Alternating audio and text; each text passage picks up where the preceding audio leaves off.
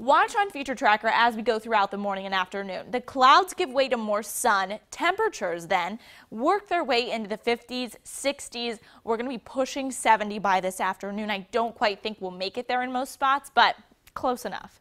For the evening and overnight hours, we're going to get back down into the 40s. It's going to be an easy morning drive on Monday. More clouds than sun, I expect. And as we go throughout the day, that trend continues ahead of the showers I'm tracking. Now, tomorrow, though, this is that push of warm air that you usually get before that front arrives, and then temperatures kind of drop off. So tomorrow, 71 for your high. Getting into Monday night, that's when we start to see the scattered showers arrive late.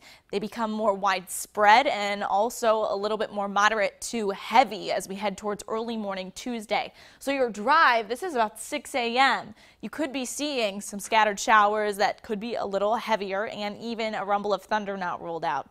Going throughout later in the morning, those showers become more scattered, but they hang on off and on as we go throughout the afternoon. The second half of the day, not too bad. Here's the breakdown of your Sunday. As I said earlier, if you can get outside, between those, you know, football games, I'm sure you're sitting on the couch watching today. It's going to be beautiful outside. Get some fresh air before those temperatures start to drop as we get towards the middle of the week. 47 for your low tonight. It's not going to be as cold as last night or this morning for that matter. Here's a peek at the next seven days. You notice we do a 10 degree drop between Monday to Tuesday, only make our way to the 60s, 50s midweek, and then we kind of struggle to get that heat back as we head towards the weekend. Best rain chances Monday night into Tuesday, and then Thursday and Friday. All right.